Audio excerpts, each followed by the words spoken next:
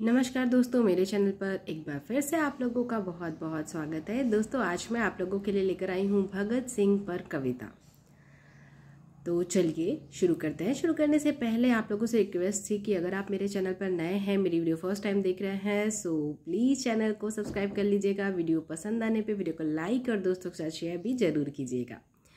तो चलिए शुरू करते हैं भगत सिंह पर एक आसान सी और एकदम अच्छी वाली कविता जो आपको स्कूल में अपने एस्से में या भाषण में या फिर कविता के कंपटीशन में काम आ सकती है।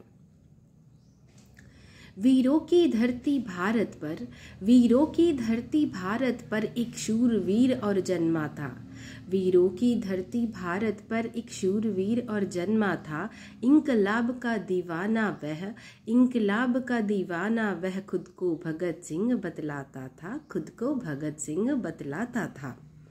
वीरों की धरती भारत पर एक शूरवीर और जन्मा था।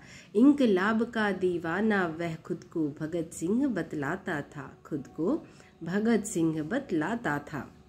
शेरों सी दहाड़ से उसके, शेरों सी दहाड़ से उसके अंग्रेज़ी सल्तनत घबराया था।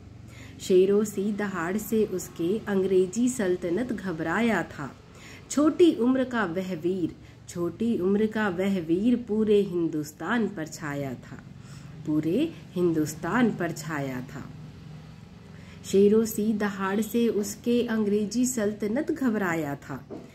से, शेरों से दहाड़ से उसके अंग्रेज़ी सल्तनत घबराया था। छोटी उम्र का वह वीर पूरे हिंदुस्तान पर छाया था। हँसते हँसते देश की खातिर, हँसते हँसते देश की खातिर उसने मौत को गले लगाया था।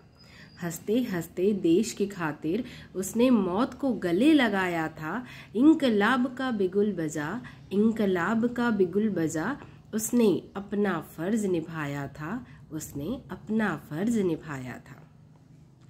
इनकलाब जिंदाबाद।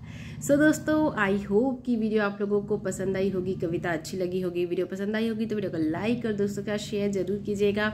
चैनल पे नए हैं तो प्लीज़ चैनल को सब्सक्राइब कर लीजिएगा और ऐसी वीडियोस के लिए और अगर आप लोगों को दूसरे टॉपिक पे भी कविता ऐसे स्पीच या कुछ और इस टाइप का चाहिए सो प्लीज़ मुझे कॉमेंट करके बताइएगा। मैं ट्राई करूँगी आपकी हेल्प करने की।